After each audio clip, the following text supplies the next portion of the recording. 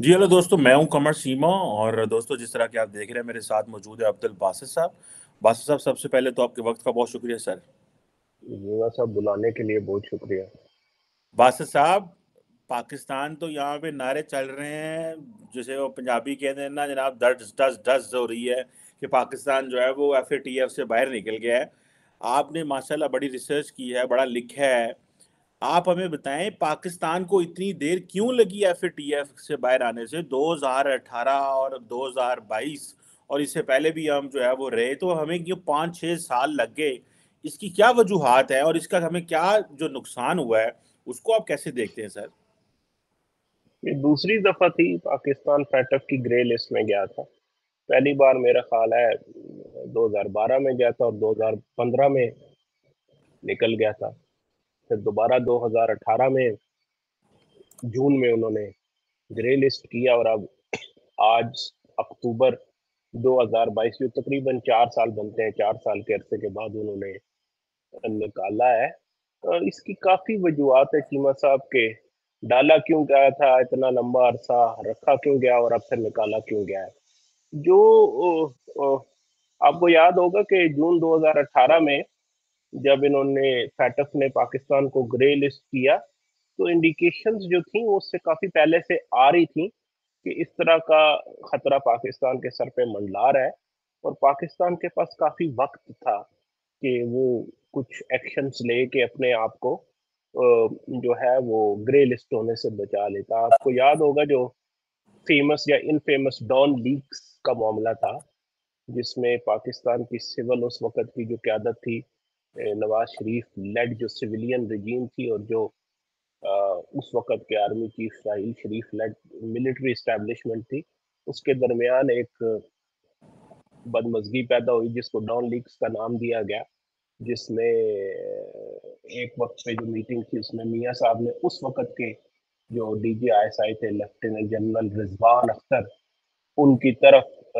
एक finger Poynting या इशारा करके कहा था कि ये जिहाद वगैरह बंद करें जो प्रॉक्सी वॉरफेयर है, इसको ख़त्म किया जाए। जो बाद में उस पर वो जनरल साहब बुरा भी मना गए, उन्होंने बाहर आके मीडिया में ये बात भी कर दी कि हमें कहते जी जिहाद बंद करें।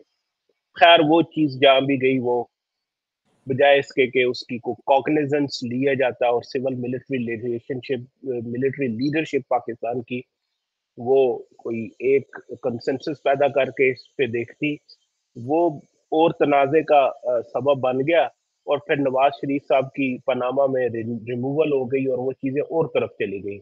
उसमें कुछ लोगों को अपने उदों से हाथ भी धोने पड़े, जिसमें मेरा ख्याल है तारिक फातमी साहब शामिल थे। आज के जो सेनेटर है मरियम नवाज़ के काफ़ी करीब जाने जाते हैं सेनेटर परवेज रशीद, उनका भी रिमूवल हुआ और बाद में डॉन लिक्स का जो फाइंडिंग आई थी रिपोर्ट जो भी आई, उस पर आपको वो D G I S P R उस वक्त के आसिफ कपूर साहब की ट्वीट भी याद होगी कि इट इज़ रिजेक्टेड खैर, ये वो बैकग्राउंड है। तो ऐसा नहीं था कि पाकिस्तान को आउट ऑफ़ द ब्लू जो है वो इस ग्रे लिस्ट पे डाल दिया गया अल्टीमेटली उसका नतीजा ये निकला चीमा साहब के, जो मिलिट्री लीडरशिप ने एक किस्म का इनकार कर दिया कि ये जो प्रॉक्सी वॉरफेयर है कश्मीर में इसके ऊपर वो उस किस्म का एक्शन नहीं लेंगे, जो नवाज़ शरीफ साहब कह रहे थे कि भाई अब ये बंद करें, ये चीज़ें रिडंडेंट हो गई हैं बैकफायर कर रही हैं।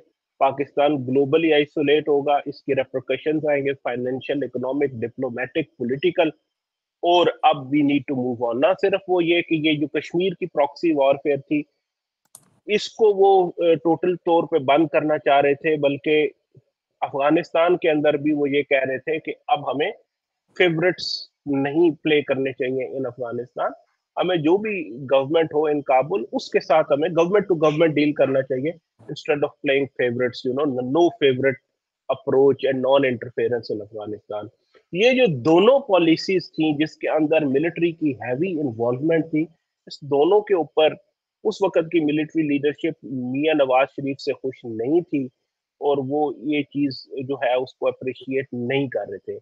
दोनों के नतीजे आपके सामने कि जो उस पर हुआ उस पर हम फैटफ में ग्रे लिस्ट हो गए और तालिबान का जो रिटर्न टू पावर है उसके बाद पाकिस्तान में जिस हिसाब से दहशत गर्दी बढ़ी है और जैसे हालात खराब हो रहे हैं north western areas of Pakistan में वेस्टर्न एरियाज़ ऑफ़ पाकिस्तान में वो भी आपके सामने है।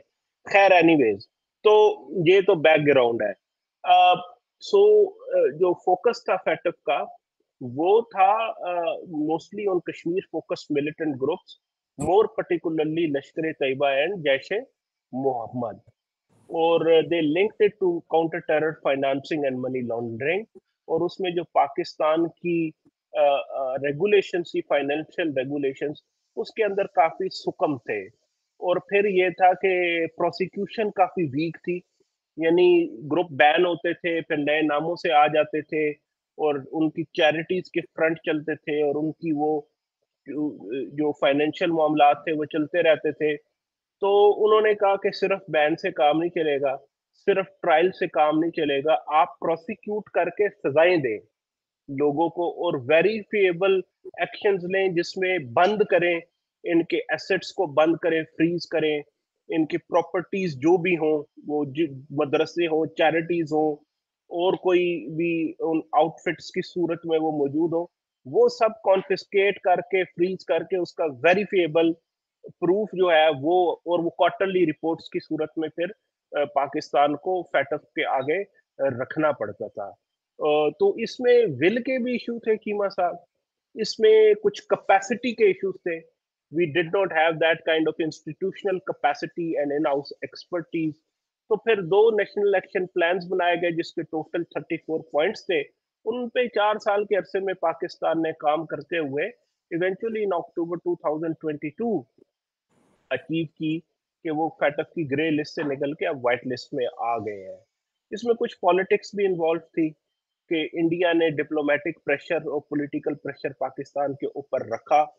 उसमें मसलन जो डेजिग्नेशन थी मसूद अजहर की, और या और भी चंद लीडर होंगे, जिनको globally designated terrorist leaders declare किया गया। और उनके अगेंस्ट एक्शन जो था, वो लिंक था।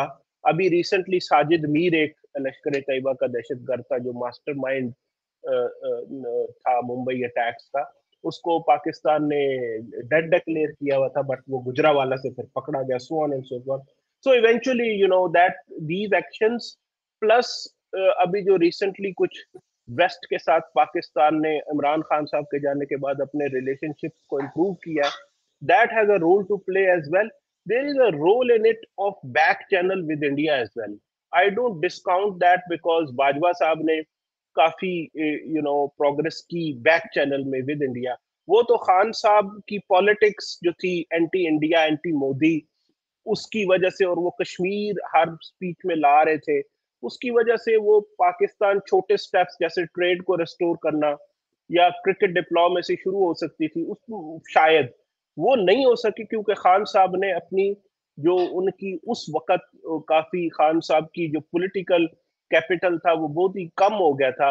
ओ तो वो चूँकि गवर्नेंस के फ्रंट पे खान साहब के पास शो करने को कुछ था नहीं तो उन्होंने वो anti India anti Modi pro Kashmir politics के ऊपर एंटी अमेरिकनिज्म पे अपनी पूरी सियासत का जो वो एक स्ट्रक्चर था एडिफिस था वो खड़ा किया था तो वो नॉर्मलाइजेशन होनी लेकिन बैक चैनल में इंडिया के साथ जो progress Bajwa led military establishment ने की मेरा ख्याल है उसमें भी that has a factor to play in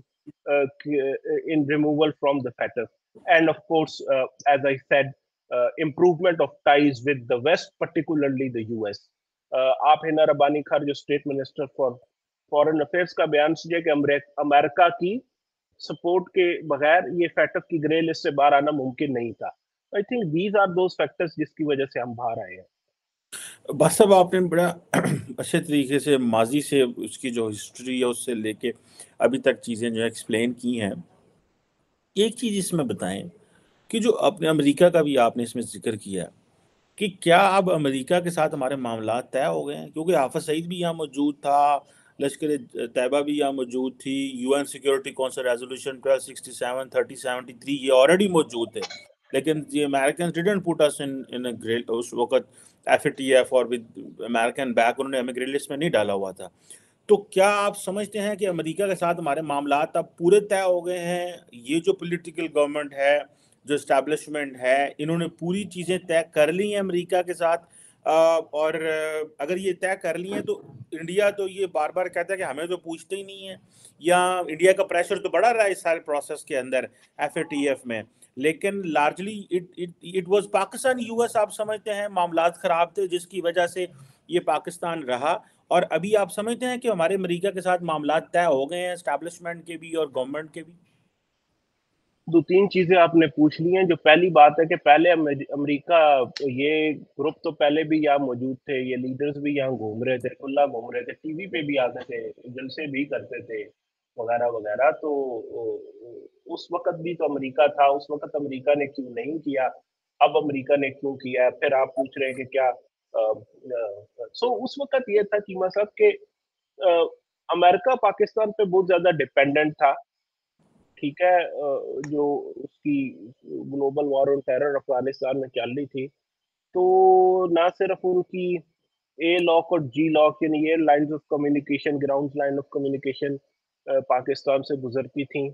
बल्कि पाकिस्तान में भी वो फाटा में कुछ ड्रोन अटैक्स हुए थे। अफ़गानिस्तान में उनकी जितनी वॉर है, उसका दारोमदारी पाकिस्तान की सपोर्ट के ऊपर था। वो क्वेश्चनेबल है of course they were not happy the kind of cooperation they were getting with Pakistan वो कहते हैं कि पाकिस्तान उनसे डबल गेम करता था। करता भी होगा for Pakistan for its own reason and interest तो उसके लिए पाकिस्तान को भी तो कोई स्पेस उनसे चाहिए थी। तो अमेरिका ने अंडर अ प्रैग्मेटिक पॉलिसी के उनकी प्रायोरिटी अफ़गानिस्तान था। तो उन्होंने कश्मीर के ऊपर एक तरह से प्रेशर तो रखा। यानी पाकिस्तान ने मिलिटेंसी को कम तो किया अंडर मुशरफ और फिर वेरियस एराज वो उस तरह की पॉलिसी नहीं रही, लेकिन पूरे तरीके से प्रेशर इसने डाला कि उस वक्त जो था, वो अफ़गानिस्तान प्रायोरिटी था। इसलिए वो प्रेशर नहीं था, जो प्रेशर हमें बाद में नज़र आया। अच्छा बाद में वो प्रेशर क्यों इंक्रीज हो गया? क्योंकि जो पाकिस्तान की सेलियंस थी फॉर फॉर अमेरिका वो कम हो गई टेक्टिकल ट्रांजेक्शनल जो थी वो भी नहीं रही। हम्म। क्योंकि अफ़गानिस्तान से उनका फोकस शिफ्ट हो गया towards containing China in the Indo Pacific and from land warfare to maritime warfare उसमें फिर क्वाड के अंदर India is a major player और उनका स्ट्रेटेजिक पार्टनर है। ठीक है लार्जेस्ट डेमोक्रेसी है उनकी वैल्यूज़ भी मैच करती हैं उनके interest strategic geopolitical long term interest भी जो है वो कन्वर्ज करते हैं। तो दैट इज़ व्हेन मेरा ख्याल है एक बाय पार्टीसन कंसेंसस हो गया। वो रिपब्लिकन की गवर्नमेंट हो या डेमोक्रेट्स की हो डीसी के अंदर एक बाय पार्टीसन कंसेंसस है which is pro India and anti Pakistan ठीक है जी? तो उसमें फिर उन्होंने पाकिस्तान से डिसंगेज करना शुरू किया एंड uh, इंडिया को उन्होंने कॉन्टिन्यूसली और ये आज की बात नहीं आप वो जो सिविलियन न्यूक्लियर डील दी थी बुश एडमिनिस्ट्रेशन ने इंडिया को इफ़ यू रिमेंबर और फिर उनको मिजल टेक्नोलॉजी कंट्रोल रिजीम में भी लेके गए डिस्पाइट के वो एनपीटी का सिग्नेटरी नहीं था उनके लिए वो एग्जामेशन पैदा की और यहाँ पे मुशरफ कहता रहा कि नॉन नेटो मेजर एलाय हम है लेकिन सारी जितनी कंसेशन है वो तो इंडिया तो वो उस वक्त से इंडिया से एंगेज कर रहे हैं और फिर बाद में आके वो बाय पार्टीशन कंसेंसस हो गया कि पाकिस्तान जो है, उसकी सेलियंस नहीं रही और India is a major major player उनके जो तीन चार टॉप के एलाइज है, उनमें इंडिया आता है। जो अभी न्यू नेशनल सिक्योरिटी स्ट्रेटेजी का डॉक्यूमेंट आया है, अमेरिका का, आप उसको खोले और उसके अंदर आप जो है ना, वो गूगल में जाके कंट्रोल एफ़ करके पाकिस्तान टाइप करें so the word Pakistan is not there even once है ही नहीं। और अफ़गानिस्तान का ज़िक्र अंडर टेररिज्म आता है India is you know centrally mentioned that tells you कि हाउ थिंग्स हैव चेंज तो जब इंडिया उस सेंट्रल पोजीशन पे आ गया तो फिर इंडियन जो कंसर्न्स थे रिगार्डिंग कश्मीर उसको भी एड्रेस करना अमेरिका के लिए ज़रूरी हो गया। तो उन्होंने फिर जो पहले एक बाइफर्केशन की हुई थी कि अगर हमने पाकिस्तान को अफ़गानिस्तान में एंगेज करना है तो हमें कश्मीर पे इनको थोड़ी स्पेस देनी पड़ेगी। तो वो स्पेस फिर पाकिस्तान के लिए स्क्वीज हुई इन अ सेंस कि फिर उन्होंने थ्रू फैट ऑफ़ पाकिस्तान को एंगेज किया। They took the FATF route to get Pakistan to do what it was reluctant to do on Lashkar-e-Taiba and Jaish-e-Mohammed. और फिर वो हमने देखा कि उन पे केसेस भी हुए प्रॉपर्टीज़ भी स्क्वीज की प्रोसिक्यूट भी किया so on and so forth तो आई थिंक वो जो इंडिया की सेंट्रल पोजीशन बनी है from 2018 2019 onwards vis-a-vis containing China and Pakistan की सेलियंस जैसे जैसे कम हुई है तो फिर वो प्रेशर भी पाकिस्तान पे उस तरीके से आया है। 2018 की आपको ट्वीट याद होगी न्यू ईयर की प्रेसिडेंट ट्रंप की, कि Pakistan has given nothing America except deceit and you know misled us in return for 33 billion dollars फिर वो एड सस्पेंड की मिलिट्री प्रोग्राम ट्रेनिंग प्रोग्राम बंद किए so on and so forth तो ये तो एक साइड अब आपने कहा कि क्या अब ये जो कुछ हुआ है तो अमेरिका के साथ हमारा सारा कुछ, मेरा ख्याल है लिमिटेड है ये. ये कोई रीबैलेंस नहीं किया साउथ एशिया में अमेरिका ने. रादर ये रीअलाइनमेंट ऑफ़ लिमिटेड इंटरेस्ट है between Pakistan and America excuse me between America and Pakistan pakistan uh, a on थोड़ा सा जो इंडिया की रिलक्टेंस है on openly condemning the Russian aggression in Ukraine और वो एब्सटेन किया उन्होंने in voting on the Uyghur issue in the UN human rights council जो जनेवा में हुई थी it was a co you know sponsored US resolution उस पे एब्सटेन किया इंडिया ने।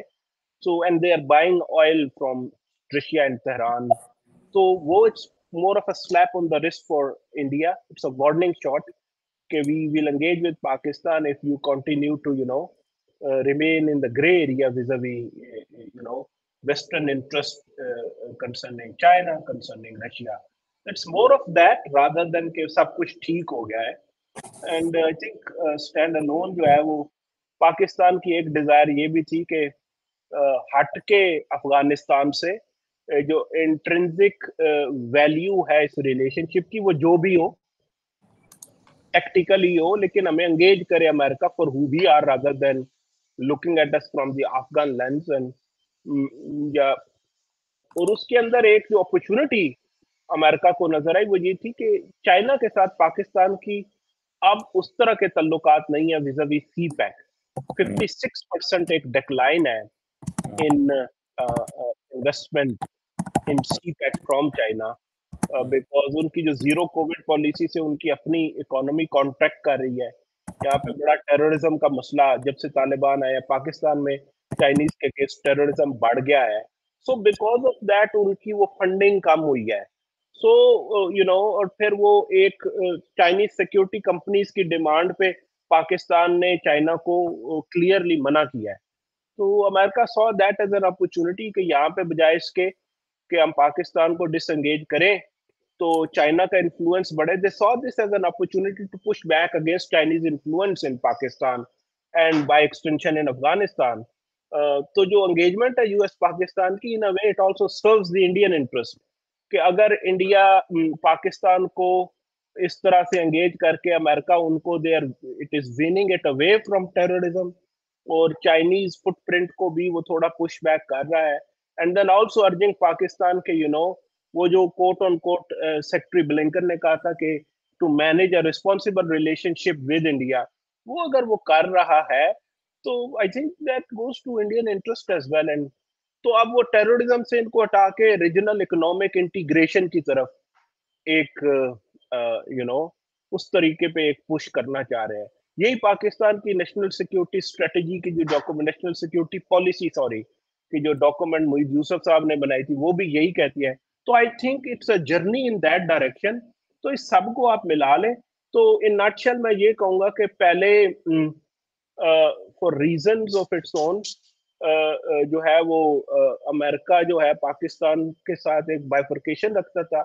इन कश्मीर एंड अफ़गानिस्तान फिर वो जैसे जैसे इंडिया की सेलियंस बढ़ी, पाकिस्तान की कम हुई तो फिर उन्होंने वो फैटफ के थ्रू पाकिस्तान को कश्मीर पे एंगेज किया। और अब जो एक अप्रोचबा है, वो कोई स्ट्रेटेजिक रीसेट नहीं है, लेकिन एक लिमिटेड कन्वर्जिंग इंटरेस्ट पे कॉपरेशन है, जो सूट करता है दोनों मुल्कों को। And I think it also suits India indirectly whether Pakistan and India engage अभी मुश्किल नज़र आता है but I don't rule that out in coming years depends on कि यहाँ पे क्या नई गवर्नमेंट आएगी नवंबर में हम किस को देखेंगे who will be the army chief तो नई स्टैब्लिशमेंट क्या पॉलिसी चलाती है? बट माई हंच इसके जो बाजवा साहब ने things he has set in motion वो इंस्टीट्यूशनल थिंकिंग है यहाँ पे कि अब जंगे या जियो पॉलिटिक्स का नहीं जियो इकोनॉमी का टाइम है तो normalisation in back channel continue करेगी। पॉलिटिकली पाकिस्तान के हालात कब इजाज़त देते हैं कि Pakistan you know overtly engages with India वो हमें देखना पड़ेगा।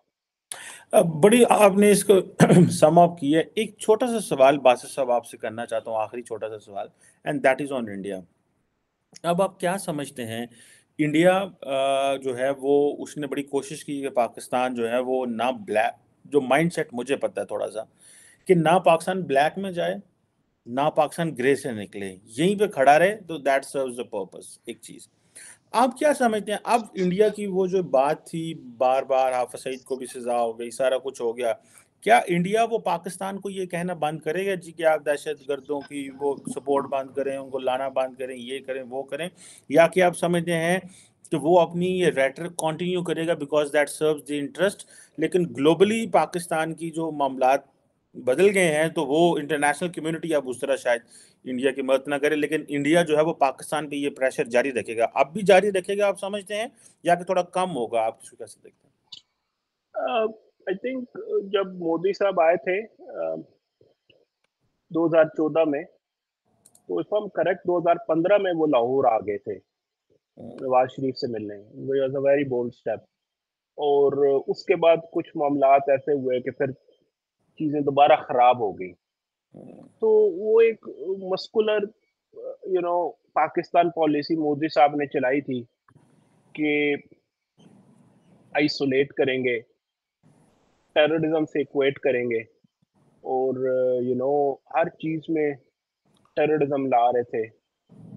नॉर्मलाइजेशन को तो आप भूल ही जाए। फिर उन्होंने वो थोड़े से जो एस थे वो चेंज कर दिए। If you remember Uri attacks के बाद वो सर्जिकल स्ट्राइक्स का एक पूरा वो एक मामला।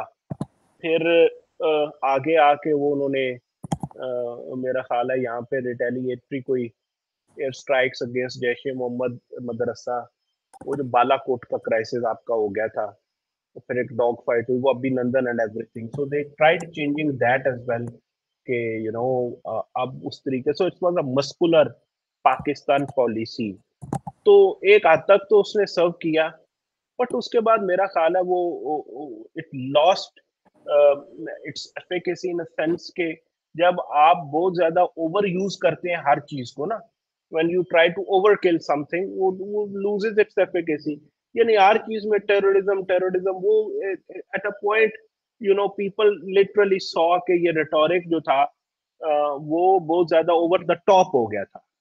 नंबर वन नंबर टू ये था कि एक हद तक तो पाकिस्तान आइसोलेटेड था, लेकिन फिर वो आइसोलेशन आपको खत्म होती नज़र आई। अब तो क्रिकेट रिवाइव होगी पाकिस्तान में वेस्ट में पाकिस्तान जो है done good diplomacy under Bilawal Bhutto.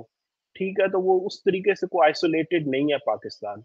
वो टेररिज्म का मसला भी उस तरीके से अब नहीं रहा जो इंडिया चाहता था। तो आई थिंक वो एक लेवरेज और प्रेशर तो है जो अगर इंडिया का हो तो वो उसे यूज़ करेगा, लेकिन ये जो अभिनंदन का एपिसोड था, उसमें फिर इंडिया के फुटप्रिंट्स भी in supporting terrorism in Pakistan नज़र आए। तो Pakistan started paying back India in the same coin तो मेरा ख्याल है वो फिर, वो इन अ वे इवन तो नहीं होता बट फिर पाकिस्तान ने भी इस तरह का कुछ किया। लेकिन हमें दोनों तरफ़ से ये जो पॉलिटिक्स ऑफ़ टेररिज्म है, इसमें बहुत बड़े बड़े गैपिंग होल्स और पैराडॉक्सेस और कॉन्ट्रडिक्शन नज़र आती हैं। यानी फॉर इंस्टेंस अगर पाकिस्तान ये कह रहा था कि जी टीटीपी को आ, इंडिया सपोर्ट करता है राइट तो फिर अब टीटीपी से पाकिस्तान बात क्यों कर रहा है? Why are they negotiating with them और टीटीपी तो जो है वो अफगान तालिबान का बड़ा स्ट्रॉन्ग इलाका है। तो इसका मतलब है कि अफगान तालिबान भी इनडायरेक्ट इंडिया सपोर्ट कर रहा था जबकि एवरीबडी नोज़ के अफगान तालिबान किसकी प्रॉक्सी थी तो और फिर वो टॉक्स वाली बात। ठीक है? तो it it did not add up जो पाकिस्तान एक रिटोरिक बना रहा था कि जी TTP is is India supported that doesn't add up इसी तरीके से एक बहुत बड़ा पाकिस्तान कहता था कि जी Baloch insurgency is purely an India funded project जो वो अपने कॉन्सुलेट से अफ़गानिस्तान, उनमें से रन कर रहे हैं। लेकिन हमने देखा कि जब इंडिया यहाँ से अपने कॉन्सुलेट बंद करके चला गया the result of US withdrawal Baloch insurgency ने ज़ोर पकड़ा वो कमज़ोर तो नहीं हुई। तो वो अगेन वो that assertion or that position doesn't stand the test of scrutiny. Uh, likewise uh, India ने शुरू में कहा जी अभिनंदन तो यू नो हमारा बंदा ही नहीं है या at least he is a businessman he is not a naval officer etcetera etcetera but उसका पासपोर्ट और स्टोरी सुनाता था। और फिर अगर वो नहीं था तो एट द डिप्लोमेटिक लेवल जाके वो उस पे उस पे एक्सेस मांग रहे थे। तो अगर he was an ordinary you know Indian citizen was doing business in Iran तो फिर उस पे जनेवा कन्वेंशन के थ्रू वो क्यों यू नो सर्टन इंसेंटिव्स मांग रहे थे। तो ये चीज़ें दोनों तरफ़ से ना वो do not add up but nonetheless दोनों ने यूज़ किया इंडिया ने ज़्यादा इफेक्टिवली यूज़ किया है। तो इंडिया अभी भी will not give up on this uh because they do not trust ठीक है वो? अमरीकी कहते हैं कि you know verify first trust later But what India will do in the Pakistani case they will verify, but they will still not trust. क्योंकि कश्मीर के ऊपर उनके लिए मुश्किल है for their own reason which are understandable and then of course अगर आपके पास एक लेवरेज है why would you like to lose that leverage against an arch enemy तो वो तो रहेगा। That is not going to go away but going forward I think um, I in in the fine in in the final analysis, I believe that India overplayed its hand as far as FATF is concerned. कि वो कोशिश करता था naturally ये मुमकिन नहीं था कि पाकिस्तान जो है वो फॉर एवर ग्रे पे रहे तो वो फिर जब पाकिस्तान की डिप्लोमेटिक टाइज थोड़ी बेहतर हुई तो पाकिस्तान निकल गया एंड एज आई सेड के बैक चैनल का इसमें कुछ ना कुछ रोल होगा कुछ इस पे ले दे हुई होगी क्योंकि अगर रीजनल इकोनॉमिक इंटीग्रेशन की तरफ़ जाना है, क्योंकि अगर पाकिस्तान की ट्रेड इंडिया के साथ बढ़ती है तो somehow balance with China आएगा। उसके लिए फिर पाकिस्तान के लिए ज़रूरी था कि फैटक की ग्रेड तो आई थिंक इसका कोई बैक चैनल में कोई ना कोई गिव एंड टेक से भी डेफिनेटली इसका कोई लिंक है। We will not know that now but later on जब हिस्ट्री जो है वो लिखी जाएगी तो जो भी इस आस्पेक्ट को देखेगा then maybe will know the detail कि कैसे ये हुआ। But I don't delink it के जो बैक चैनल में इम्प्रूवमेंट है उसका इससे भी कोई ना कोई लेन देन ज़रूर है। बिल्कुल ठीक है। थैंक यू वेरी मच बासा साहब। आपने बड़े एक लेबोरेटिव अंदाज से हमें एक्सप्लेन किया। एफ़ जो है वो पाकिस्तान को इतना क्यों टाइम लगा और पाकिस्तान की ग्लोबल रीअलाइनमेंट और इंडिया का क्या पॉसिबल रिस्पॉन्स हो सकता है in the future aspect thank you very much sir for your time thank you